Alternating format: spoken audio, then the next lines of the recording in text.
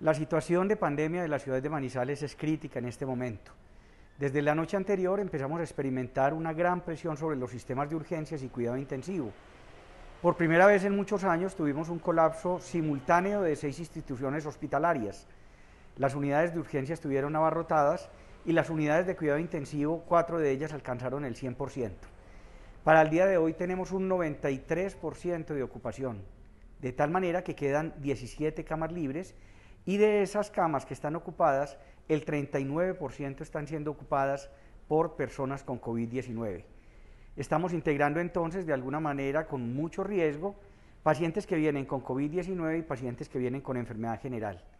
Invitamos a toda la población a mantener todas las medidas de autocuidado, a creer que esta situación es real.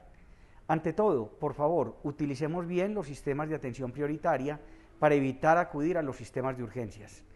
Reiteramos desde la ciudad de Manizales, necesitamos que las familias, los ciudadanos, tengan un comportamiento de autoprotección, que garanticemos efectivamente no tener contactos con las demás personas si no es absolutamente necesario. De todos depende la sobrevida. En este momento estamos en una situación crítica y tenemos que salir adelante.